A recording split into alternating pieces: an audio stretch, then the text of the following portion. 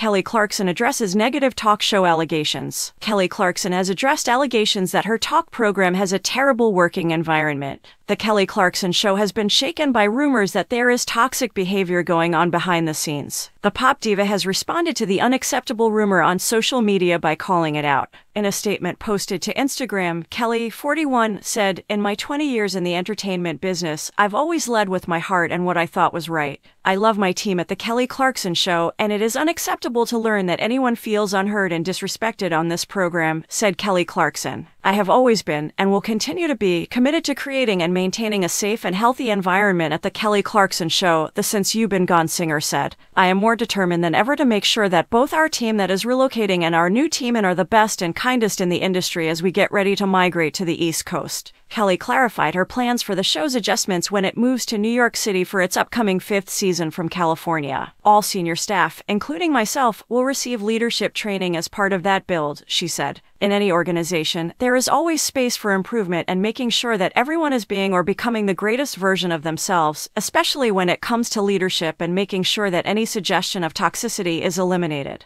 The NBC Universal Chat Show's spokesman also emphasized the need of fostering a safe and respectful work environment for all employees. According to the representative, we are committed to a safe and respectful work environment and take workplace complaints very seriously. To insinuate otherwise is untrue.